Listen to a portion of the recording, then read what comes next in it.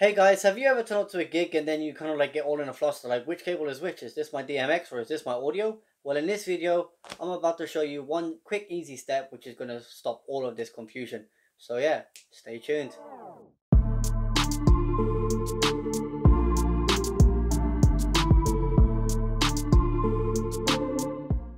Okay, so for this, all you're going to need is some multicolored electrical tape uh, why what happens just to be fire retardant tape.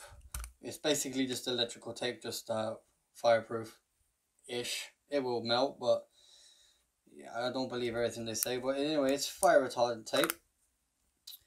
Um, so what we're gonna do is we're just gonna put that to one side. As you can see here, I've got my microphone cable, and right here, I have my DMX cable. Now looking at these two, you would know which one is which. Obviously, yes, it says microphone cable here, and here is just blank because it's my DMX cable. So what we need to go along and do is we need to just go grab our multicolored electrical tape. Okay, so then you're going to be left with these colors here. Now, I don't really use black because quite frankly, there's no point in putting black tape on a black cable. So I'm just going to leave that off to one side and then I'm just left with red yellow blue and white. Now I don't really use white for anything so I'm going to leave that off to one side also. So what I normally do is I just normally use yellow blue and red. Now I normally use the red if there is a cable that's damaged and I'm going to come around to fixing it. That's why I would normally use the red electrical tape for. So I normally use the red electrical tape for damaged cables just to mark them which ones are damaged. And then what I do then is I use my blue for my microphone or my audio cables and I use yellow for my DMX. Okay, so now I'm just going to grab my audio cable and I'm going to grab the blue electrical tape. I'm just going to go along and tear some off right now. So I see a lot of people kind of like wrapping it around here. Um, I've got a couple of friends who wrap around on the actual cable itself. But what I actually like to do is down here where the at the top of the XLR plug, just on this bit right here with the grooves in it. What I like to do is I like to run my tape around there. So then you're not getting any sticky residue on any of the uh, cable.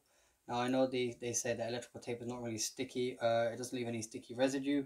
But over time it will especially when it's exposed to heat and stuff like that. So I just just put it around the, the XLR plug like so. I just put it around a good few times just so that you get a good few layers on there and it sticks. Like so. And then we're just going to go along and cut that off there. So now I know that this is my audio cable and then we're just going to go along and we're going to go grab my XLR cable right here. And we're going to do the exact same to this. So once again all the way around the top of the plug.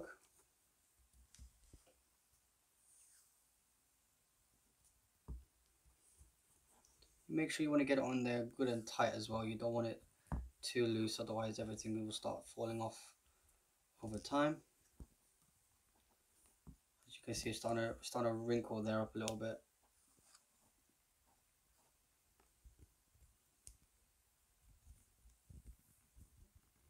And once you have it on there a good few times, just cut it off wherever you need it.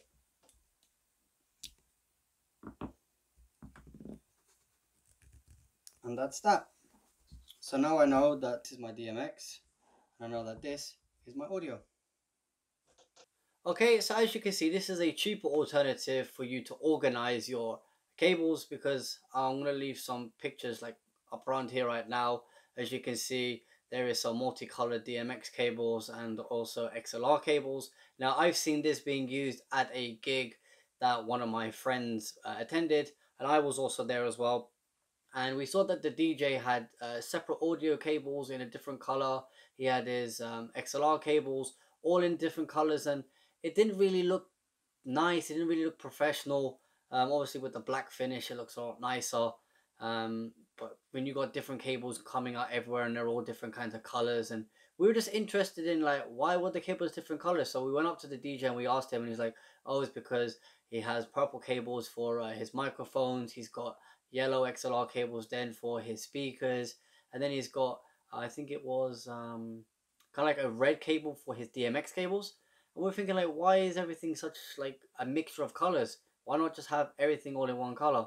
So instead of you forking out money and buying extra cables, you can literally just buy yourself a cheap tube of um, electrical tape, and then you just literally just put it around your uh, audio cables and your DMX cables. Simple as that. It's a cheaper alternative, and it's uh, it makes things easier on you. And this is also a massive benefit. Also, if you would like to kind of organize your bags, like what I normally do, I like to have my audio cables in one bag and then my DMX cables in another bag or if they are going to be all in the one bag for one gig at least then I can kind of tell which one is which. Um, because you can use obviously um, you can use a DMX cable for your audio but you're going to hear a lot of um, hissing and popping and you're going to get like a lot of feedback in through your speakers especially when you're daisy chaining them and also when you're going to be using a um, DMX cable for your microphone you got to be very careful with that as well because you're going to get a lot of static distortion. So it's uh, best that you use the right cables for the right purpose. Obviously your DMX for your lighting and your XLR for your audio. Okay there guys, I'm going to leave it there for this part of the video. But if you like what you see, feel free to give it a thumbs up or a thumbs down. It's completely up to you guys. Also, feel free to smash that subscribe button wherever it may be. It's going to be somewhere, obviously it's going to be down below. But feel free to smash it anywhere on the screen as well try and remember to put the link up there. But um, yeah, smash that subscribe button. Drop any comments that you have down below. I appreciate all your feedback. Like we're slowly growing. If there's any ideas that you also want me to do, uh, leave it also down in the comments box below because I love reading your comments, whatever may come through. I try to respond to you guys as quickly as I possibly can. So um, yeah, take care, and I'll see you guys next time.